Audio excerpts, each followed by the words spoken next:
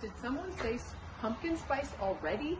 Wow, have you been to the stores? There's already Christmas, Halloween, and Thanksgiving stuff out. It's crazy. But guess what? We're still in the summer market here in Sierra Plumas counties, and I still have a lot of buyers working in your neighborhood. So reach out to me if you're wondering if now is a good time to sell. I can also go over the market value, give you names for vendors if you are trying to remodel, renovate as we head into the spring. All these things are free services, no obligation. I'd love to help you with. And again, working with a top agent is super important because of my marketing and my amount of reach in other areas. So reach out to me if I can help. Don't forget to follow me on social media, and I hope you have a great rest of your summer as we head into the fall.